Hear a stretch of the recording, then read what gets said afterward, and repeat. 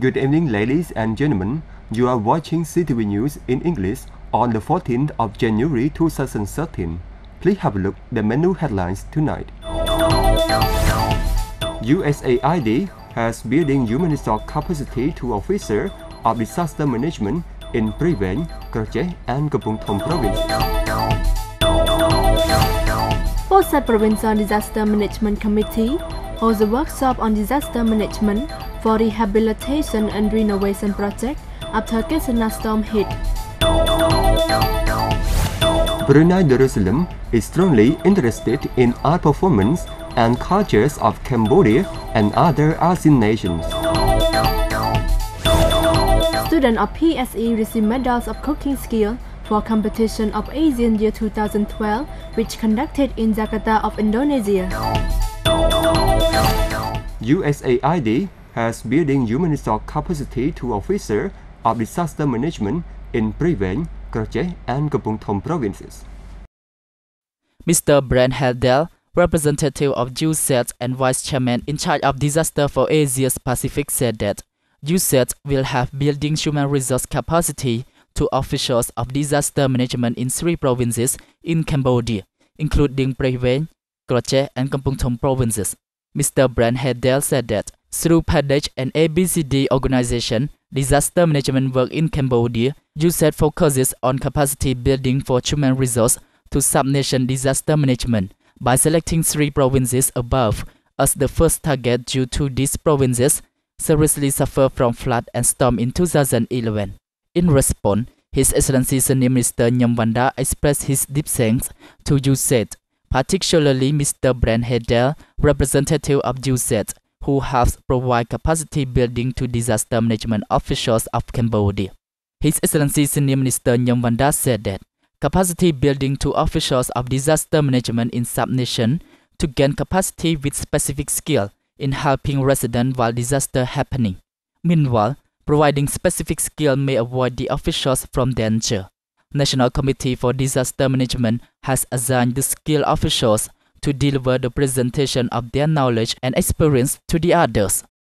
Pursat Provincial Disaster Management Committee holds a workshop on disaster management for rehabilitation and renovation project after Ketsana storm hit.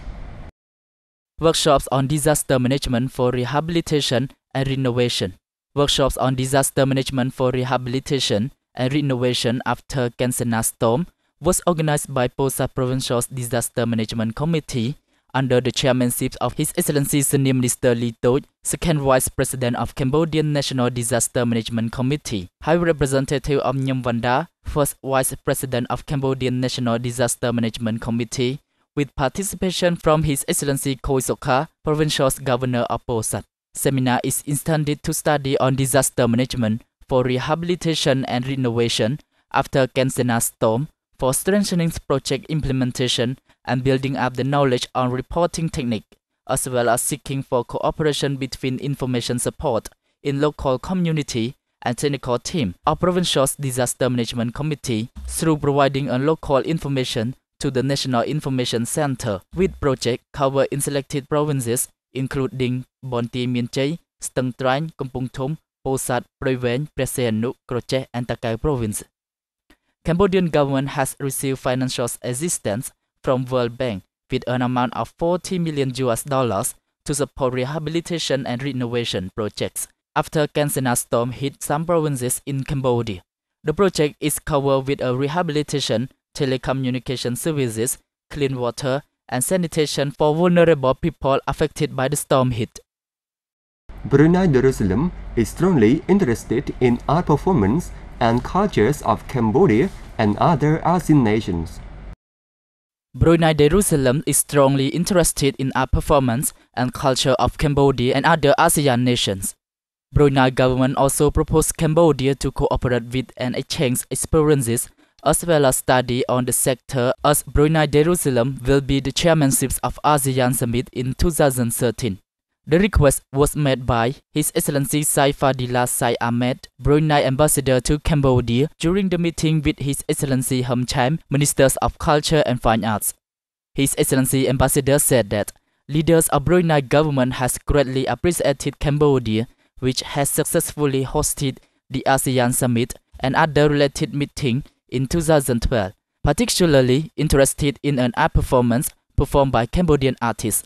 His Excellency Saifadillah Sai Ahmed stated that through seeing brilliant art shows of Cambodia, Brunei sides want to study it from Cambodia by sending artists or instructors to receive the training in Cambodia, particularly at the Royal University of Fine Arts. Besides, Brunei's art performers want to find out about other Cambodian cultures, such as music, arts, and heritage preservation. In response, His Excellency Him Chhem has expressed a warm welcome and supported the proposals, showing a highly appreciation for exchanging experiences with Brunei government on culture exchange. Students of PSE received medals of cooking skill for competition of Asian Year 2012, which conducted in Jakarta of Indonesia. His Excellency Dr. Thong Khon, Minister of Tourism presided over the awarding of medals to students of PSE in the non-competition of cooking. According to the report of Mr. Punsarapit, Program Director of PSE reported that Ms. Sok Chansok and Mr. Chia Bunthun were former students of cooking skill class at PSE, received medal certified and proficiency in cooking. The competition was conducted on the 15th to the 17th of November 2012 in Jakarta of Indonesia, and 12 competitors joined the test. Those are representatives of nine countries of Asian nations. PSE was announced by sub-degree in March 2011 for training students in many subjects, include business, hotel and grading, construction mechanic food, and beverage hairdress film and other more. In the academic year 2012 to 2013, PSE Institute has the students totally 1,595 and 50 of them are women. School of Hotel and Catering of PSE train on six courses including cooking, restaurant service, front office, bakery, laundry, and others. His Excellency Dr. Thong Khon said that Cambodian tourism is the cultural tourism and nature, which has been called the green gold and is the prioritized sector among the other due to the socio-economic development and to reduce the poverty of people in Cambodia through creating job opportunities for Cambodian people, creating income to the nation, promoting culture and environment preservation. Meanwhile, in 2020, Cambodian tourism will create income about 5,000 million US dollars and 800,000 residents receive job opportunities. His Excellency Umsati expressed deep thanks to Asia Injury Prevention Foundation and Global Helmet Vaccine Initiative for providing hammers for kids, students, teachers, and Cambodian people. The helmet handover ceremony for kids was held under the presence of His Excellency Um Sati, Minister of Education, Youth and Sport, with participation from Mr. Greg Grab, President of the Asia Injury Prevention Foundation and the Global Helmet Vaccine Initiative. Mr. Greg Grab said that Asia Injury Prevention Foundation, in partnership with the Ministry of Education, Youth and Sport, launched Helmets for Kids program for nearly 3,000 of students and teachers at three schools in Kandal and Kampong Speu provinces. In 2011, more than five people perished and many more were seriously injured on Cambodia's road each day. As pedestrians and motorcycle passengers, children are especially vulnerable. He also called for the elder, led by example and empower a new generation of safer smarter road users to make educated decisions to protect themselves, family, and communities. Mr. Greg suggested to begin with a helmet, which is a simple, inexpensive, and highly effective solution against serious head injuries on the road. Research demonstrated that non-helmeted motorcyclists are more than four times as likely to suffer fatal death injuries in case of crash. Only 7% of motorcycle passengers, including children, seem to are as much at risk of suffering the consequences of not wearing as helmet as motorcycle drivers. Mr. Greg Grab continued that Across the globe, road traffic accidents remain a leading cause of injury and death, and young children remain a vulnerable group.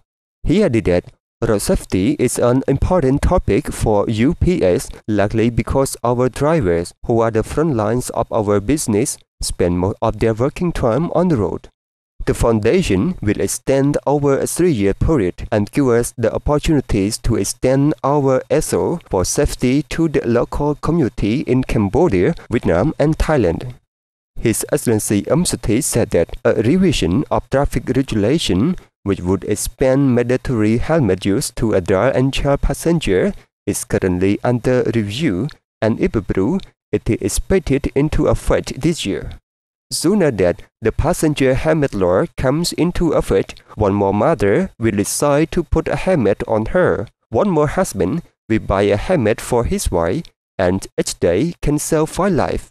His Excellency Um has expressed deep thanks to Asia Injury Prevention Foundation and the Global Helmet Vaccine Initiative for providing helmets for kids, students, teachers, and Cambodian people which has greatly contributed to reducing and preventing road traffic accidents as well as promoting the living standard of Cambodian people.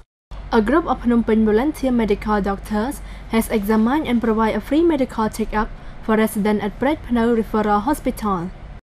A group of Phnom Penh volunteer medical doctors has examined and provided a free medical checkup for residents at the Pret Phno Referral Hospital located in Songkat Pret Phno, Khansan Sok Phnom Penh. The generous action is usually performed by receiving the recommendation of His Excellency Mam Bun Heng, Minister of Health, who is always concerned over people's health and sanitation, to promote and contribute to the living standard of Cambodian people. Speaking to the residents, His Excellency Mam Bun Heng said that the health is main factor for people to build up the society and family as well. Therefore, healthcare is very important component which we have to adhere to stop drinking alcohol, smoking a cigarette, drug, instead living with healthy style, drinking clean water, as well as doing regular exercise, particularly consulting with expert and medical staffs. His Excellency Mam Bun Heng has pushed on medical staff working with governmental institutions to keep up and increase the code of conduct on examination and treatment for residents, in particularly for poor residents since the ministry has been trying to promote healthcare services to the public. Cambodian Prime Minister Samdech Chu Hun Sen instructed the Minister of Justice to consider reducing the duration of imprisonment of Mr. Veera Somkwamkid and Mrs. Ratree Pipattanapaiboon. Cambodian Minister of Justice, His Excellency Ang Vong Vathana said that Mr. Veera Somkwamkid will be granted six months of jail term reductions, while Ms. Ratree Pipattanapaiboon will be released to mark the cremation of late King Father Samdech Pranurodom Sihanouk. According to the ministers, Ms. Ratri Pipatanau Paiboon will be free on the 1st of February 2013, the day for the procession of moving King Father's body from the Royal Palace to the open square of Meru in front of the National Museum next to the Royal Palace for the official cremation three days later. Mr. Veera Somkwamkid and Ms. Ratree Pipattanapaiboon have been sentenced to 8 years and 6 years in jail respectively on the charge of espionage in the prohibited military zone of Cambodia. According to a press release of the Cambodian Ministries of Foreign Affairs and International Cooperation, Cambodian Prime Minister Samdech Akya Mohasena Cho Hun Sen instructed the Ministers of Justice to consider reducing the duration of imprisonment of Mr. Veera Somkwamkid and Ms. Ratree Pipattanapaiboon in response to the request of his Thai counterpart, Her Excellency Yingluck Shinawatra. The procession and the cremation ceremony will be live broadcast through the country's radio station and TV channels. King Father Somdach Preah Norodom Sihanouk passed away on October 15, 2012, in Beijing of China at the age of 90 due to the natural causes. Peer educator teams have reached out their mission to various schools to disseminate the possible risks that children and adults in rural areas may face with. Led by Cambodian Women's Crisis Center, peer educator networks gather in Hun Sen Prasat Bakong High School located in Siem Reap province, to share each other the knowledge and experiences regarding the ways being used to rescue the children and adults from any endangered circumstances or exploitation. According to the statement of peer educator team, children and adults are likely to become exploited by others mostly due to poverty, unemployment, less education, and personal predicament in families. Peer educator teams play the main roles to disseminate public about the particular rights of children, which include rights to an adequate standard of living, health care, education and services, right to protection from abuse, neglect, exploitation, and discrimination as well as right to participate in communities and development programs. Siem Reap Province is a well-known cultural tourism site which attracts mass numbers of local and international tourists to visit many temples, particularly Angkor Wat. Siem Reap Province is one of the most remarkable architectural and artistic accomplishments of the ancient world. Angkor Wat Temple is the marvelous accomplishment of King Suryavarman II. Nowadays, the attractive temple becomes famous for all tourists around the world. Angkor Wat was inscribed by UNESCO as the World Heritage Site in 1992. After taking tour around Angkor Wat Temple, tourists continue their walks to Bakheng Mountain so that they can view the sunset and beautiful scenery of Angkor Wat. Cambodia considers tourism field as the green goal, which greatly contribute to the country's economic development and the promotion of culture. According to the report of Ministry of Tourism, foreign tourist arrival in Cambodia increased 3.5 million in 2012, and Cambodia can earn revenues of more than 2 billion US dollar for the national budget. Through the increasing tendency, Cambodia is expected to receive 4.5 million of foreign tourists in 2015 and 7 millions in 2020. Thanks very much for watching our news program. We see you again on Wednesday at the same time. Good night.